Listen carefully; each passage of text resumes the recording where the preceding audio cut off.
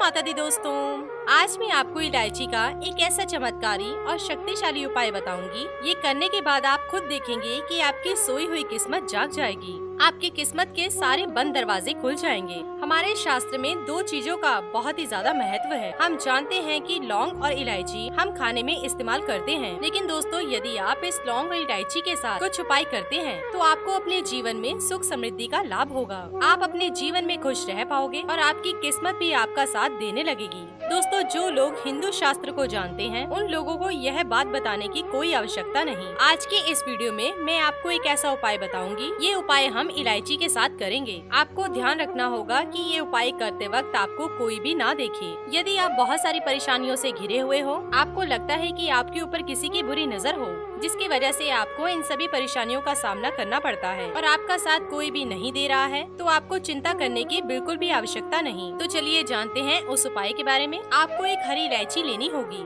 हरी इलायची लेने के बाद आपको अपने पूजा घर के सामने बैठ जाना है। पूजा घर के सामने बैठने के बाद आपको दोनों हाथ जोड़कर अपनी आँखें बंद करके ओम श्रीम श्रीय नमः, ओम श्रीम श्रीय नमः। इस मंत्र का आपको 108 बार जाप करना होगा। दोस्तों, मंत्र का जाप करते वक्त आपको कोई भी डिस्टर्ब ना करे। इस बात का आपको ध्यान रखना होगा। मंत्र जाप के बाद आपको उस इलायची को अपनी मुट्ठी में बंद करके अपने घर के सात चक्कर लगाने होंगे। सात चक्कर लगाने के बाद आपको अपने पूजा घर के अंदर बैठ जाना है और एक लाल रंग का कपड़ा लेना होगा। इस लाल रंग के कपड़े में उस हरी इलायची को आपको लपेट देना है और उसकी एक पोटली बना देनी है। इस पोटली को बांधने के लिए आप लाल धागे का इस्तेमाल करें और इस पोटली को आपने घर में ऐसी जगह छुपा देना है कि वो किसी की नज़र में ना आए। घर का कोई भी सदस्य इसे देख ना ले, ऐसी जगह आपको इस पोटली को रख देना है। ये उपाय आप किसी भी दिन, किसी भी वक्त कर सकते हो। बस आपको एक बात का ध्यान रखना होगा, जिस भी दिन आप ये उपाय करोगे, उस दिन से अगले 21 दिन बाद आपको उस पोटली को वहाँ से उठाकर पानी में विसर्जित करना होगा।